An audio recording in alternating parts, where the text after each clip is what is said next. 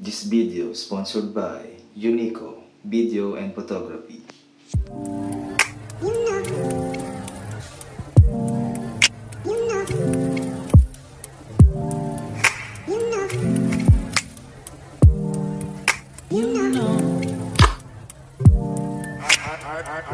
I, begin to I, I, I, I, I begin to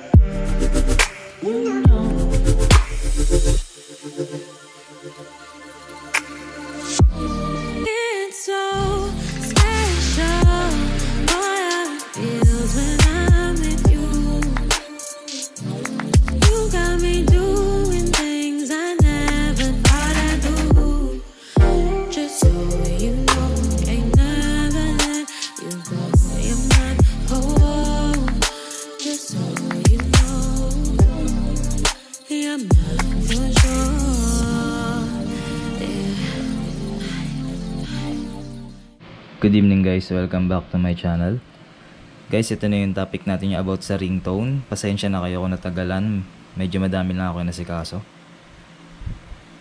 So ito, ang kailangan natin dito guys yung itong dalawang app na to, itong Pass Browser sa GarageBand. Bali dati ang ginamit kong application, Documents. Ngayon iba yung gagamitin natin yung Pass Browser.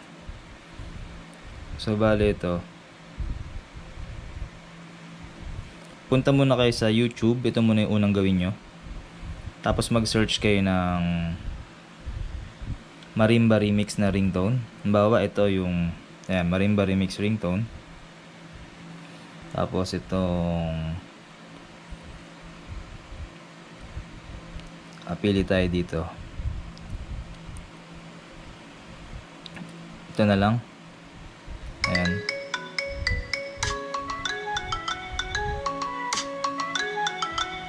Bale yan, Taki Taki Marimba Remix. Search natin yan dito sa Pass Browse. Bago yan, download ka muna ng apps sa App Store. Yung Pass Browser Offline. Ayan guys, ito yung logo niya. Ayan. Pass Browser Offline Files. Download nyo yan guys. Mas okay gamitin yan kesa dun sa documents. Tapos, ayan, pass browser. Bale, sa pass browser, search nyo yung mp3juices.cc. Bale, yung link nung application na to, tong pass browser na to, ilalagay ko na lang sa description. Tingnan nyo yung description natin. Bale, ito Taki Taki ah, Marimba Remix. Yan, bale, ito siya guys, yung na, nauuna na to gawin nyo guys, click nyo lang yung download. Yan, tapos, may tatlo kayong pagpipilian. Click nyo yung download mismo. Yan, download. Rename nyo, gawin yung Taki Taki Marimba.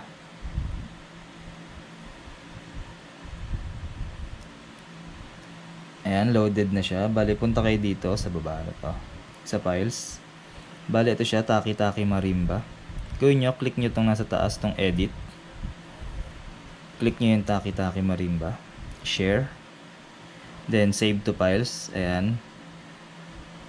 Pasensya na kayo guys sa camera ko kung medyo malabo. Ayan, bali, ang sa akin kasi, sinesave ko siya agad sa GarageBand agad. Bali, pwede mo siya isave sa iCloud Drive. Pero sa akin, nasa on my iPhone siya, tapos GarageBand. Doon ko siya agad sinesave. Add. Then done. Punta na tayo sa GarageBand. Ayan. Ayan, bali punta tayo dito sa to add natin. Click natin tong add. Ayan, tong audio recorder. Guys, kung hindi nyo mahanap to, kung ang lumalabas sa inyo yung ganyan, yung amplifier, drums. Swipe nyo lang hanggang sa makapunta kayo sa audio recorder. Ayan. Tapos click nyo yung audio recorder mismo. So, ayan.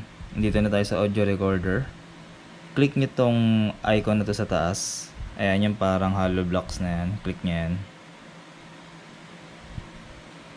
Ayan. Tapos click nyo tong um, add button dito sa gilid. I mean, add icon. Itong 8 bars, gagawin natin 30. Bale, ito yung parang 30 seconds, ganun. 30, 30 kasi yung maximum dito sa ringtone. Yan, back. Hindi, wag na pala add. Yan, 30 bars lang. Tapos click nyo lang dito sa screen para mawala na tong tab na to. Ayan, tapos click nyo tong ito, itong nasa tabi nung sa settings. Ayan, tapos pag lumabas tong move audio files na to, move nyo lang, move files nyo lang. Ayan, bali ito yung mga sinave ko na, yung Love Marimba, meron na ako nyan. Ito, Taki Taki Marimba, ito yung dinownload natin kanina. Ayan. Gawin nyo guys, um, hold nyo lang siya, then drag, drag nyo lang siya dito sa pinakadulo make sure lang guys na nasa pinakadulo talaga siya para mag-uumpisa agad. Eh, makikita nyo, since dito sa dulon-dulo na to, wala na siyang, kumbaga wala na siyang sounds, straight na lang siya. Pwede nyo siyang i-crop. Ayan, move nyo lang. Swipe, swipe nyo lang na ganyan. Move nyo lang siya dito. Ayan. Then, kapag tapos na, bali ito pala, pag pinlay nyo yan, maririnig nyo may nag-ano, may nagana tak tak tak tak ang nagkakos na nitong ito yung kulay blue na icon na to click nyo lang yan yan disable nyo siya para pagka pinlay nyo wala na yan store. ayan bali kung tapos na guys okay na basta make sure nyo guys na naka-disable to click nyo tong drop down na to tong my songs tapos, i-rename, ito siya, bali ito siya, my song number 2, kasi meron na ako nakasave nun. I-ano nyo lang siya, rename nyo lang siya, para hindi kayo mahirapan. Ayan, Taki Taki. Ayan, rename natin. Ayan, ba tapos, pagka naka-rename na, punta tayo sa browse. Then, punta tayo sa iCloud Drive. Tapos, swipe natin dito. Tapos, sa GarageBand for iOS. Then, ito siya yung Taki Taki Marimba. Ayan. Select natin. Ayan, select. Tapos itong share button na to. Tapos, make natin siya as ringtone. Ayan, okay nyo lang yan. Continue lang yan. Ayan, export. Ayan, export natin.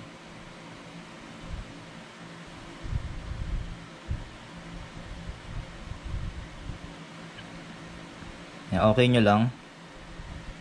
So, bale yan. Pagpupunta na tayo ngayon sa settings. Ayan, dito sa sounds and haptics. Ito, ringtone. Ang bale, ito na siya, yung Taki-Taki Marimba.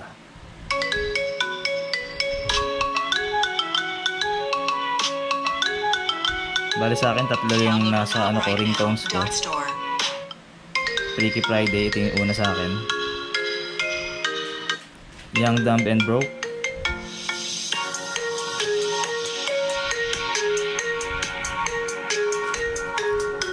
Bale guys, ayun lang yung mga kailangan natin na application, dalawang application.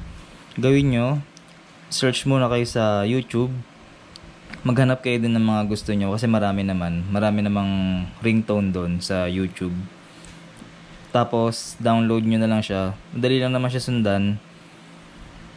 Ilalagay ko na lang sa description yung link ng dalawang application na gagamitin natin. Please subscribe to my YouTube channel kung hindi pa kayo nakaka-subscribe. Kung hindi pa rin kayo kasali sa group, meron tayong group, iOS Pilipinas. Search nyo lang sa Facebook. Ilalagay ko rin yung link para mas madali kayo makasali. Ina-next na natin na topic yung about sa iPhone storage kasi yun din yung maraming demand ngayon yung kung paano ma-save yung sa iPhone storage, yung sa other. Dahil lalo na yung problema to ng mga ano, eh, 16 GB lang na phone. Sa ngayon, hindi ko masusure sa inyo kung kailan ko ma-upload. Pero sisikapin ko this month or next week ma-upload ko na yung about sa iPhone storage na yan. Kasi medyo mahirap siya aralin dahil iba-iba tayo ng case. Katulad na sa akin, yung Safari, halimbawa yung sa Safari, sa akin hindi naman malaki yung gig. Pero dun sa iba, umaabot sa kanila ng 1.5 gig yung laman ng sa Safari nila. Yung 1.5 gig na yun guys, sa Safari ng iba, hindi uubra yung i-clear mo lang yung history and cache niya dun sa settings. Hindi ubra eh. Kaya inaalam ko pa kung paano mababawasan yung mga gig dun na kinakain ng other. Kasi sa- kadalasan dun guys yung system file yun eh. Abangan nyo na lang guys yung mga susunod ko na video